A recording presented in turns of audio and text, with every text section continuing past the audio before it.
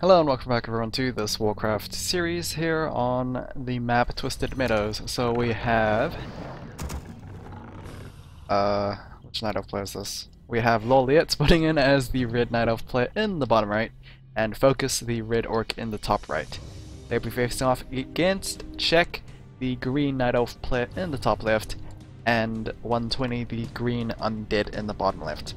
So, uh, yeah, the map is on Twisted Meadows, and game one went over towards Focus and Lawliet after a pretty opportunistic uh, timing on killing off the Tree of Life of Check that they were able to win game one. Pretty good actually. Um, there was pretty much no way that 120 could afford to give over gold to his ally and uh, yeah, his ally couldn't really afford to replace that Tree of Life, so all he had to do was work with whatever hunches he had left. Had left. Uh, he wasn't able to revive his keeper. It was pretty much downhill spiral from there for the uh, for the duo of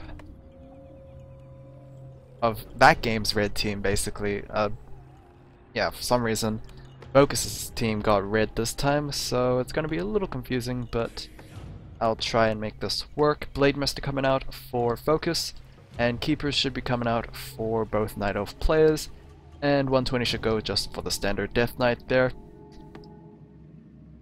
Uh, yeah, so far, pretty much the same thing as last game. TID opening for 120, Focus going for a pretty standard uh, start here as well. He was very fortunate not to lose that much momentum for losing that Blade Master early on. I by no means will he reconsider keeping that TP skull anymore, he'll just he'll still sell it for those items. Um, he just needs to be extra careful with uh, using his mana, I guess. Because there, there's probably not going to be a Demon Hunter in this game, uh, so it's pretty much up to focus on whether or not he will be able to use his mana correctly. Uh, yeah, Death Knight does have the Dust Appearance and the ne uh, Rod of Necromancy. Keepers don't usually get any significant items, so don't know what he is looking for right now. Uh, Boosted Speed probably could be something that could get picked up there. Um, but so far it just seems like he might be harassing the Acolytes because I believe after a couple of hits the Entangle will be able to finish off the Acolyte. Uh, he's just being extra safe and just killing him off as soon as possible. That will, uh, that will delay the tier 2 of 120, which is pretty significant because the one who is supposed to go to uh, tier 2 right now is Focus and 120, and Focus is um, pretty much 30% done. 120 just started his, so whether or not that delay will be significant enough is will will be clear later on, but yeah, all the small things do indeed help. Keeper going for more harassment here, but uh, those ghouls will not be able to let him do it. And of course, uh, 120 has already started his tier 2, so even if he does lose one Acolyte, I think he probably wouldn't cancel it. I don't know, it uh, definitely depends on the player there, but if he got two of those Acolytes taken out, then yeah, he probably would be forced to uh, go for the cancellation there. I'm, su I'm, surprised that he's not going for more opportunities, but I guess he's just trying to uh, trying to help his Blade Master buddy, who is significantly low health uh, after a couple of entangles and death coils from the green side there. Entangle on the Huntress, uh, not going to lead to any kills. Skeletons are trying to deal with the Overseer here, and probably a Death Coil will be used to finish the job. There we go, and close attack plus 6 gets picked up. Entangle was used on the Death Knight, but since he was pretty much next to the uh, Overseer, it didn't really matter too much whether or not the item was uh, risk of stolen, risk of getting stolen, yeah. TP, uh, not TP, uh, expansion attempt from, uh, was it, Lawliet, once again. Lawliet does seem like he likes to go in expansions in these 2v2s. Um, speed does get picked up by the Blade Master of Focus. Entangle on a Grunt, Death Coil to try and accelerate the focus fire there, and the Grunt will most likely get picked off. Another, unless another Yeah, unless the Blade Master gone for the uh, execute, I believe he did, as the keeper didn't get any experience. Dust appearance will be used, but the Blade Master will just run out. So far, things are not looking good for... who should I say?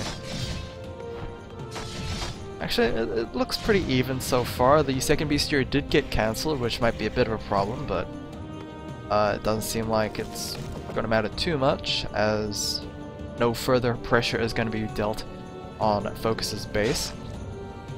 Laymass is going right after the Keeper, and Tangle will try and keep him in place there. I'm surprised the Huntresses didn't try to go for uh, a surround there, just force him to use another Windwalk, but maybe just wanted to get as much damage down as possible. Shadowhunter is out for focus, and the second Bestiary uh, should be completed fairly soon. Uh, I, I, guess this was an earlier slaughterhouse. I I don't actually remember the timing on the last one, but yep, slaughterhouse has been placed down, which is on the way as well. He does have the plus 6 claw attack to be given over, so that's, that's pretty nice.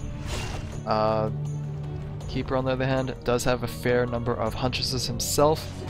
Keeper for check, or for Lawliet pretty much as well. Crypt Fiends need to be a little careful there, and Snare is going to try and make a couple of opportunities, but the Wisp did go for a detonate to take care of that uh, nasty spell, and ensnare on a Huntress. We'll be able to see her through that Shadow Meld, and that will be two Huntresses taken down simultaneously, so pretty good for the green side here. Able to get that Unholy Aura and Thorn's Aura as well. So, yeah, pretty good. Uh, auras do double in value in 2v2s or 3v3s as well, uh, mainly because it does hit a lot more units, so yeah, auras, very invaluable. Uh, anything going on here? Nope, just pumping out more Huntresses. 120 on the other hand is starting to make those uh, obsidian statues. Not hitting tier 3 just yet, probably not going to see a tier 3 from uh, him in fact, because raiders are... They deal with destroyers a lot easier than maybe some people might think. Uh, Ensnare does practically make them immobile. And there's no there's no real good targets for the Destroyer. Sure, they can go after those Huntresses, but you might as well go, uh, go for Gargoyles if you're gonna go uh, counter Huntresses with the air units there. Orc does get uh, focused down, but we did have a couple of Raiders being queued up there, so not gonna matter too much. Live accuracy gets picked up by the Shadow Hunter, so he will be able to uh, at least give the Night Elf army a bit of a boost in damage. Barracks is going to get destroyed there, but uh, yeah, probably not going to be used later on in the game, so it shouldn't affect it too much. We do have uh, yeah, a couple of raiders running out there, but one will get ensnared and most likely taken down. Uh, peons are good, or at least ghouls are gonna be picked off there by Focus and Lawliet, but they are kind of losing a bit here. Pillage is going to be queued up, so my taking is that the red side probably can't handle this this huge green army, so they're going to be forced to try and attack multiple bases at once. Pillage is just going to be a last-ditch effort to get as much resources as possible when raiding uh, his opponent's base. And the raiders are going after those moonwells. Probably should go after something more significant, but yeah, he is at least focusing down those moonwells that do have uh, full mana. Stronghold does get destroyed here for focus, sadly, uh, and yeah, Check is going to TP back to his base. Speed Scroll will be used to run away as quickly as possible, and yeah, Lawliet TP'd back to his expansion. So um, I guess the reason why the red side chose not to commit fully into defense as well as basically because Lawliet has a second base. He could probably afford to give some resources over to his ally, but this is pretty much like game one. Uh, once someone gets behind, uh, he is pretty much going to drag down his ally, and eventually it's it's not going to work out so well. Let me put it that way, I guess. Okay, this Troll Warlord camp is being started here. Someone hit level 3, and I believe it was the Blade Master of Focus. Dust Appearance will be used to keep track on, uh, keep tabs on that Blade Master. Their Scroll Protection will be used, but the Keeper gets focused down uh, by the Blade Master. Getting taken down level 2, BM will run away with the win, uh, with the whatever, boots of speed. And a huge fight will go out. Level 1 Frost Nova, not going to do too much damage, but a lot of Crypt Fiends are falling very quickly. You can see how quickly those Huntresses take down those Crypt Fiends there. Yeah, the green side's not looking good. They are slowly being overwhelmed. The Hunters are trying their best on this uh, concave here, but pretty much the majority of the undead units have been killed off, so it might just end up being a 2v1 later on. Uh, but uh, Check does have a lot of units for himself. Focus is going to TP Staff away, and that was kind of disastrous, I think, for the red side. Um, definitely taking down the Crypt Fiends look good, but I guess uh, check being unchecked was kind of kind of a blessing for the green side as well. Orc units could get picked off here, but with, with these huntresses as well by Lawliet, uh, actually no, they're just gonna choose to run away. So obviously taking down the Orc units is a lot higher of a priority than taking down uh, units because Focus can't get those units back. Meanwhile Lawliet could easily replenish his, his army with his two expansions. Um, Focus is pretty much going to try and uh, make his worth with his heroes there. So the Shadow Hunter Blade Master combo needs to look for at least one hero kill I think but yeah, losing these units right here is not a good start.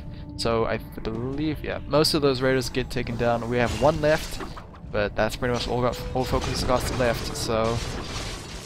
Instead of the Death Knight, but he is going to get Frost armored back up. yeah.